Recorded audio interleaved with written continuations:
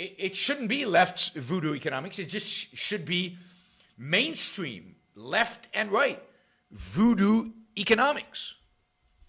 And it really is voodoo economics. I mean, voodoo economics is a term I think that George Bush Sr. Remember George Bush Sr., Jr.'s dad, who was president for four years, one term president, after Ronald Reagan? I think he called Ronald Reagan's economics voodoo economics in the 1980s when he was running against him um, in uh, 1980 for the presidency. I think that's where the term comes from.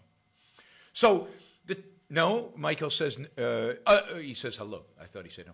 So, I mean, the voodoo economics was a uh, leftist, kind of left uh, Republican accusing the last semi free market Republican of being voodoo. So, the real voodoos, of course, Bush and the Democrats and Romney and almost all Republicans today and Trump. And it's it's it's truly voodoo because voodoo is mystical. Voodoo is primacy of consciousness. Voodoo is a prayer and a whim. And that's exactly what this economic theory is. So let's let's start with the child credit. So the idea is this: the idea that poverty is is high today in the United States primarily because of COVID. And uh, of course, poverty has been um, mostly flat in the United States since the late 1960s. It was declining fast into the late 1960s and flattened out sometime in the late 1960s, and it's been coming up and down since then. And um, it's fascinating to me that if you were from another planet, didn't have the context, and didn't have the embedded altruism that so many people have today. If you just showed up on planet Earth and you look at the graph of poverty and you and you say just and this is poverty the way the government measures it. I'm not even don't want to even get into the whole statistical debate about what it means and uh, the fact that a lot of young people are, are poor and therefore they're calculating the poverty rate even though they all get out of poverty once they get their jobs or once they get out of college or everything. So the whole measure is bogus. But there are really poor people. There are people who truly struggle and people that have a really, really hard time to be able to afford some of the basics uh, that they need in order to live. But I don't know that the poverty rate is actually capturing that. I'm not sure what the poverty rate actually captures and whether it's objective. But let's assume it was real. Let's assume it was real. And, and you came from another planet and you saw a graph that showed – steady decline in the rates of poverty as measured by the government, and then it flattens out and then it stays flat pretty much forever. It bounces around a little bit, recessions, economic growth, and so on. Wouldn't you ask the question, what happened in the late 1960s that caused the graph to flatten out? It was heading in a nice direction. Poverty was declining systematically. It was really going down and was, you know, was heading towards zero. And suddenly it, it stops and it flattens out. What happened in the late 1960s to cause poverty not to go down anymore? And that would be the mystery.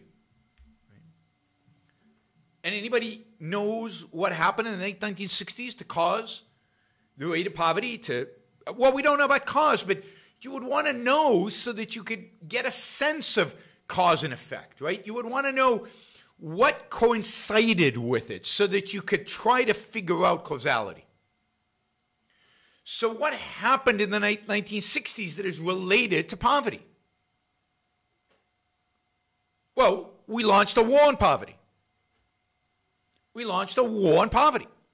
And we established what the um, Johnson administration termed the Great Society. And we embraced not only Medicare and Medicaid, but then a whole array of poverty killing, poverty blasting into outer space welfare programs, which were, we were told, we were told, were guaranteed to eliminate poverty in America. And all of this came about during the Johnson administration. Uh, so, so what would that be? 63 to 68 never eliminated, never reduced, never really challenged until, to some extent, Bill Clinton's um, uh, uh, welfare reform in uh, in 1990 was it 97 or 98 I think Uh, But really, the programs, the extent of them, certainly Medicare, Medicaid, but, but, but all the, the entire welfare infrastructure and the entire welfare uh, industrial complex, that's a new term we should, we should embrace. The welfare industrial complex, or the welfare monetary complex, or the welfare, I don't know, parasitical complex, whatever you want to call it. And I'm not talking about the people who receive welfare. I, I view them more as victims than anything else. I'm talking about the people who administer the welfare programs. We're talking about thousands, if not hundreds of thousands, of bureaucrats and government officials and government programs at the state level that get money from the federal government and the federal government that has all these branches. And it's welfare in the United States is not one simple program where people get a check. It's a million different little programs where people get pieces of stuff. And you need a PhD in welfare sciences just to understand and figure out what you are owed. So, one of the characteristics of American welfare is that people don't use it anywhere near as much as, for example, they use it in places like Europe. Not because they don't want to use it, but because it's so complicated, nobody knows how to use it. So, for example, a lot of the child credit and a lot of the like negative income tax that we have, the earned income tax credit, all of those things, 22% of people who are eligible to use it and who actually file don't use it, don't get it, don't apply for it because it's so complicated. And, and one of the differences between the United States and Europe is Europe is much more efficient, less bureaucratic, less dribble and drabble in a million different programs with their welfare, right? Put aside the whole morality of welfare. But so anyway, it's curious, isn't it? That about the same time as all these welfare programs, as a war on poverty was launched, poverty rates flattened out. Poverty rates flattened out. Right? Gene says, I can't find a poverty rate graph that does a starting in 1959. Probably not measured before that. You can probably find it in people, in some studies where people uh, try to estimate what it was in the past. But you see, one of the great evils of government, this might be controversial what I say, one of the great evils of government in the last 40, 50 years is that they started measuring stuff. Because the more they measure, the more they think they can control, the more they want to intervene, the more they want to tinker, the more they want to influence. When it's not measured, they don't know, so they leave it alone. So, government statistics are not a good thing. Not a good thing. Because the more they now today they know everything. They have statistics on everything. They've got a Federal Reserve. They, you know, Federal Reserve employees is the largest employer of economists in the world. Is the Federal Reserve? Maybe not in the world because I don't know. Maybe Chinese government employs more, but certainly eh, in the Western world, the largest employer of economists is the Federal Reserve. I mean, that's all they do. They put together statistics. And the more statistics, the more central planning, the more they think they know, and the more we're just an average.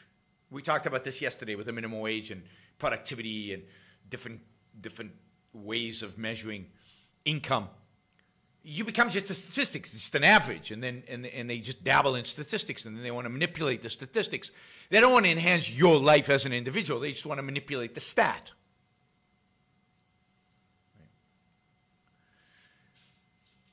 Anyway, all this is to say, all this is to say that poverty, as measured by the government, has been flat since we declared a war on poverty. Now, this is consistent with the fact that America, for a variety of different reasons, has not won a war since World War II. I mean, I don't count Grenada as a war, right? Or, or even the first Gulf War how to how to really define that as a victory. But given that you had to have a second Gulf War, um, didn't have to have, but had one. America has not won a war since World War II. It hasn't won the war, didn't win the war in Vietnam, didn't really win the war in Korea, hasn't won the wars in the Middle East. Um, didn't win, hasn't won the war in Afghanistan, but hasn't won a war on drugs. You can't win a war on drugs, I would argue. And hasn't won a war on poverty. And again, you can't win a war on poverty. I mean, there's a simple principle there. You cannot have a war on an inanimate object. On some, you know, what does a war on poverty mean? It means nothing. You can't have a war on a condition. And a war is about blowing stuff up. A war is about blowing stuff up. You can't have a war on COVID. So we launched a war. We've obviously lost it because the, the progress we were making, the, the, the world, the economy was making in annihilating poverty was reduced. Now, somebody asked, what is poverty? Uh, poverty is, is, is a, is, um, you know, I'd say it's a state of being in a particular culture where you're barely getting by. That is, you are struggling to, to feed yourself, to buy diapers for your children, to, for your babies, to, to pay the bills. And you're living at, at, you know, at a very low standard of living. You barely have a car. If you have a car, it's a very old one. So you could objectively evaluate poverty, right? I mean, a lot of us were poor at some point, right? I was poor. Uh, my you know while I was getting while I was going to college in in in the U.S. six years of uh, masters and PhD. I mean, I worked odds and ends job. I got a little help from my wife's dad, but generally, um, we just got by. I think I, when my kids were born, my largest expense was diapers. Monthly expense was diapers. Um, but so what, right? Sometimes you have to be poor to get wealthier to get an education, to get to the point where you could be successful. But some people get stuck in poverty. And arguably, you could make the argument that welfare state actually encourages people to get stuck in poverty. It pays them to get to, to, to stay poor.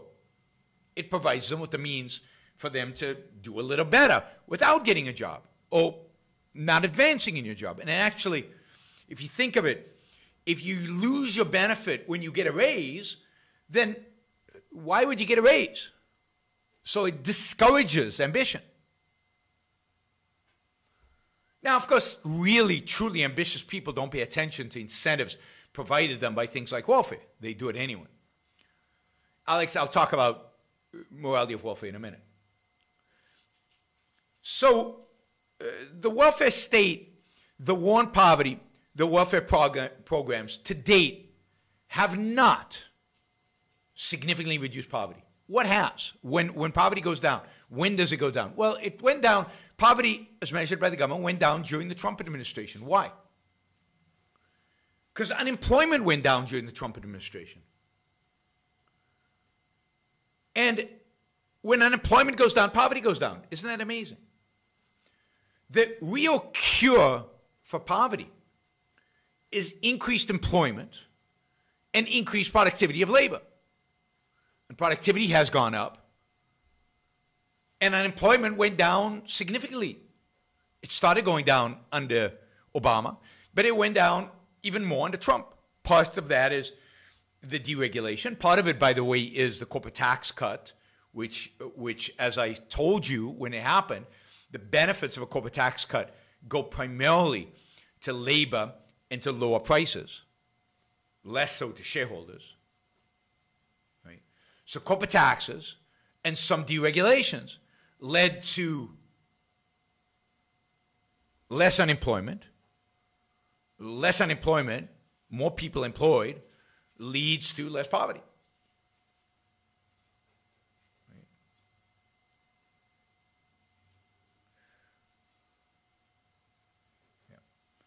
Uh, David writes, uh, the Thomas Sowell tracked data from the Bureau of Labor Statistics. Now, notice how Thomas Sowell did it and the IRS during the late 1980s. He tracked this data and found that only 5% of those that were in poverty, in a poverty category in a particular year, stayed in that category if you look into the future.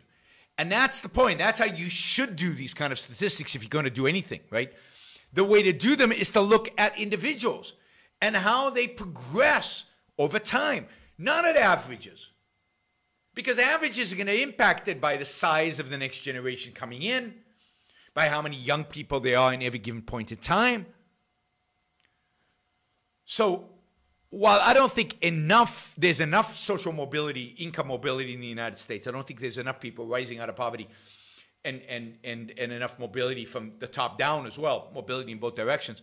That requires a free market. There's still a lot of mobility. And it's not that somebody born poor stays poor, as Thomas Sowell shows in his studies and as other economists have documented. But that's the kind of that's the kind of data you would have to look at, right? Yeah, David says throughout their lifetimes, the labor stats do represent reality. Well, they do if interpreted right, but you never see that interpretation. That is, they get the statistics, and then government bureaucrats and leftist economists, or statist economists, I should say, collectivist economists, are the ones typically using those stats in ways that don't reflect reality. And it takes a Thomas Sowell to dig into the statistics and to draw out of them the truth of what's really going on in the background. Okay. Sorry, David, I mis- mis- uh, misinterpreted what you asked. So take this child credit, for example. So both uh, the Democrats' plan and Mitt Romney's plan. Mitt Romney has a plan that has support from a number of Republicans. Both of them involve giving direct payments to people who have children under a certain income threshold. Direct cash payments. So they have the benefit of not creating a bureaucracy. Right? It's simple. Everybody just gets a check. You have a kid, you get a check. Unless you make more than a certain amount, then you don't get a check. Of course, again, there's that threshold where if I get a raise, I lose this child benefit. Hopefully, it doesn't make that big of a difference. Right? And the story is that if we do this, child poverty in America will be reduced by 50%. Now, my guess is that when the welfare state was established, government made all kinds of promises about the reduction in poverty that was going to be generated through the welfare state. None of them came to fruition. Medicare made promises about the costs of Medicare and the benefits of Medicare. Now, the benefits, for the most part, you could argue at least, you know, we haven't seen um, a dramatic deterioration in the healthcare old people get yet. But the costs, anybody know by what factor the projections about Medicaid costs were wrong 10 years out. So in 1960, whatever, when, they, when Medicare was instituted, they said in 10 years, Medicare is going to cost X. By how much more than X? By how much were they wrong, in other words? How much more than X did it actually cost? Anybody, anybody want to take a guess? Well, since there's a lag between me speaking and you typing, I'll tell you, a hundred. That is for every dollar they projected. Yeah, Stephanie got it right. For every dollar they projected, they actually landed up spending a hundred times that dollar. A hundred X. A hundred X. Talk about bad financial projections. So government is fantastic fantastic at predicting the future of the impact of its plans. Now, all this is well known, all this has been written about, all this is out there. The fact that poverty rates have not declined, the fact that the government gets it wrong all the time, the fact that they spend more than they anticipate, the fact that they cannot make projections, all of this is known, but it doesn't make any difference. Another welfare program, and another welfare program. All the other ones didn't work. Why is this one going to work? And by the way, let's not eliminate 550 welfare programs and consolidate them into one that maybe could work. No. We're going to add one, so we have now 552 welfare programs. So we can create more confusion. Voodoo economics. This time it'll work. Why? Well, because economists say so, but economists said so back then. Well, they're smarter now. They have AI. They have experience. They know more. It works in Europe. But no, you don't get people out of poverty, not real poverty, not long term, by writing them checks. Unless you don't care about their well being and you're willing to do what Europeans do, which is write them big checks and do it efficiently and accept that they will never work. Accept that work is not a requirement.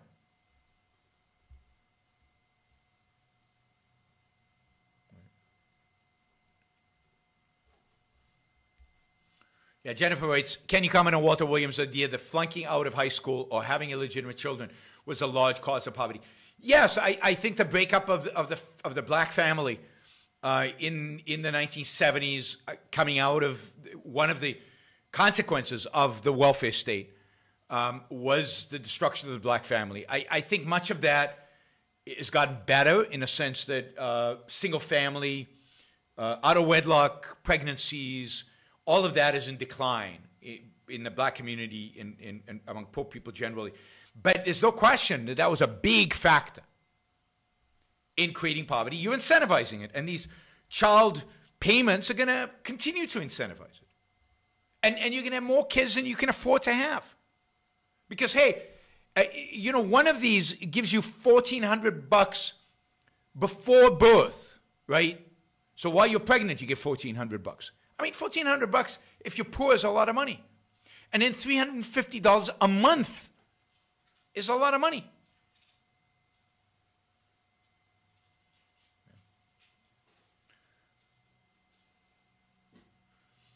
So, uh, welfare creates massive distortions of incentives which nobody seems to care or learn or want to learn about. Nobody wants to learn about them. About these, nobody learns to learn from the distortions, from the fact that poverty has not come down. Just load up another welfare program. Load some more. Now, I put aside the, the morality of warfare, but let's for a minute talk about the morality of warfare. The morality of getting money to have kids. Whose money is it? So first, flip one side of the morality of this is you have to take somebody's money by force and give it to somebody else. Why? Because they're less productive. Because they have kids when they can't afford to have kids. How about the idea of don't have kids until you can afford to have them?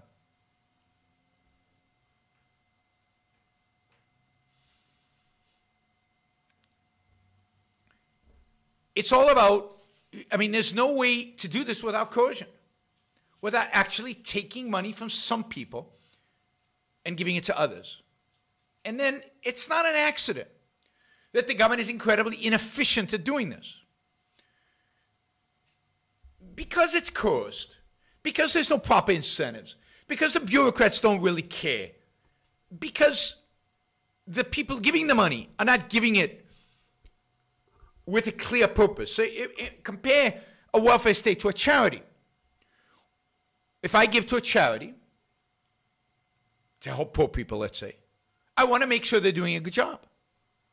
And if they want my money the next year, they would have to come to me and convince me that they used my money well. Otherwise, I wouldn't give them the money. So they have to they have to live up to certain standards. Now, you could say in a democracy we vote for them, but no, you don't vote for the bureaucrats. And politicians have no incentive really to shape things up and to clean house. And we don't vote the bastards out. We never do. The market, the market for charity, for example, is far more efficient at making sure that the money gets used well. Now, even there, things break down because we are so eager to give to charity because of altruism. We're so eager to give to charity because of altruism. Too many of us don't pay attention to how the money is used. See, even charities often create disincentives, often destroy those people they're trying to help. You know, there was a, a, a documentary called Charity Inc., which I highly recommend. Charity Inc. And it goes through all the different examples of how charities distort and pervert and actually, in some cases, actually increase poverty and hurt employment and hurt production and do the opposite of what they claim to do. And people don't monitor them closely enough because we're so committed to charity because of altruism, we don't pay attention. In a rational world, we would. So, first, welfare is immoral because it requires coercion, force. It requires the stealing of money from some to give to others. And that's just wrong. If I want to help a poor person, I can do it more effectively, more productively myself. And if I don't want to help a poor person, somebody says I don't have a heart. I mean, he was kidding, but I don't have a heart, right? If I don't have a heart, so what? You get to tell me I have to have a heart. You get to tell me what my values should be. You get to tell me how I should live, what I should do with my money. No. So, no. It is not right to coerce some people to fund charity and to fund an inefficient, bureaucratic, self serving, power lusting bureaucracy, not even charity itself.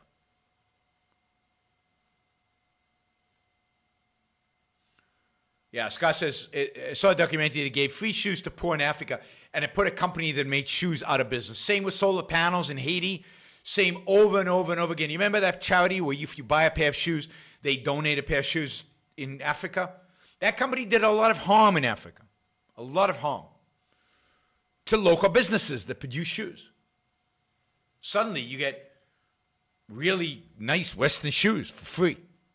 Why would you buy the local shoes?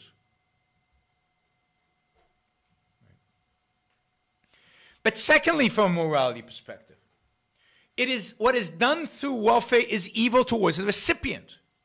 You're basically telling the recipient you're worthless. You cannot take care of yourself. You're incentivizing them to be irresponsible. You're incentivizing them to abandon personal responsibility. Don't think about how when you should have kids and how you can afford them and how do you get a job so you can feed the kids. And maybe you should only have one kid not four because you can't really afford four. No. The government is saying have as many kids as you want. Here's a check. The government is saying don't get a job. Here's a check the government is saying, don't have pride. Don't be productive. Don't have integrity. Here's a check. The biggest victims of the welfare state are the recipients. They're institutionalized into poverty. The more you give them, the less likely it is that they go and find work. The more you give them, add to that the minimum wage, add to that business regulation, all the controls, licensing laws. You make it very expensive, very hard for them to find a job. You pay them a check so they don't find a job. And shockingly, they don't find jobs. And poverty rates stay high.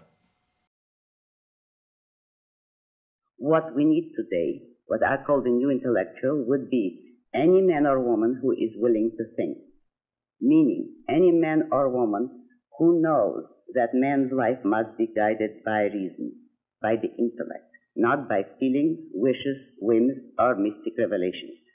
Any man or woman who values his life and who does not give, want to give in to today's cult of despair, cynicism, and impotence, and does not intend to give up the world to the dark ages and to the rule of the collectivist brute.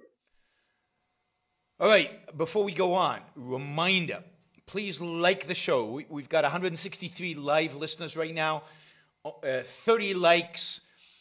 That should be at least 100. I figure at least 100 of you actually like the show. Maybe there are like 60 of the Matthews out there who hate it. But but at least the people who are liking it, you know, I want to see I want to see a thumbs up. There you go. Start liking it. I want to see that go to 100. All it takes is a click of a, a click of a, a, thing. Whether you're looking at this, uh, and and you know the likes matter. It, it's not an issue of my ego. It's an issue of the algorithm. The more you like something, the more the algorithm likes it. So you know, and if you don't like the show, give it a thumbs down. Let's see your actual views being reflected in the likes. But uh, if you like it, don't just sit there.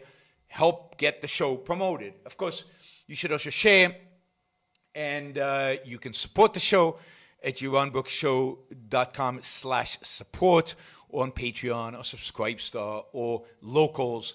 Uh, and uh, and show your support for all for, for, for the work for the value hopefully you're receiving from this and uh, and of course don't forget if you're not a subscriber even if you even if you just come here to troll, or even if you're here like Matthew to defend Marx, uh, then uh, you should subscribe because that way you'll know when to show up. You'll know what shows are on, when they're on.